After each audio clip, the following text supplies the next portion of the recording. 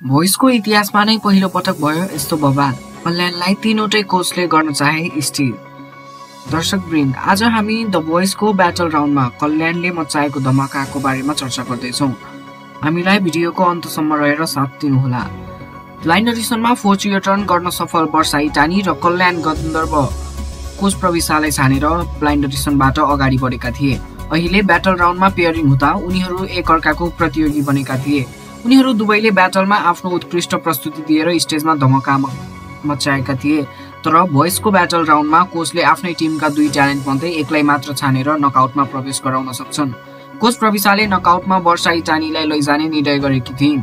अन्य कोचहरूले पनि सुझाव दिने क्रममा कल्याण र वर्षा दुवैको नाम आइरहेको थियो। कोच राजेशले वर्षालाई सिलेक्ट गर्न सुझाव दिएका थिए भने कोच राजु र कोच प्रमोदले भने कल्याणलाई अगाडि बढाउने सल्लाह दिएका थिए।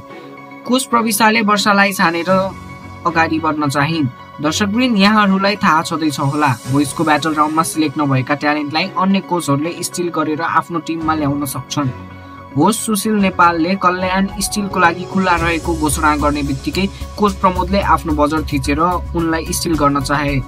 त्यसको केही समयमा नै राजुले पनि आफ्नो बजट थिचे र राजेशले पनि। तिनैजना कोचहरू कल्याणलाई आफ्नो टिममा प्रवेश गराउन आतुर थिए।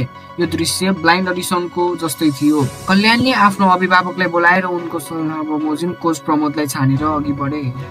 स्टिलमा तिनैजना कोच तयार भएको हामीले कमै ठाउँमा मात्र देख्न सक्छौँ। The voice of Nepal season चारमा त उनी स्टिल हुने पहिलो प्रतियोगी नै हुन्। उनले तिनजना कोचलाई स्टिलका लागि तयार बनाएर निकै ठुलो उपलब्धि समेत हासिल गरेका छन्। कल्याणले आफ्नो अभिभावकको सल्लाहलाई सुनेर कोच प्रमोदलाई छानेर अगाडि बढेका छन्।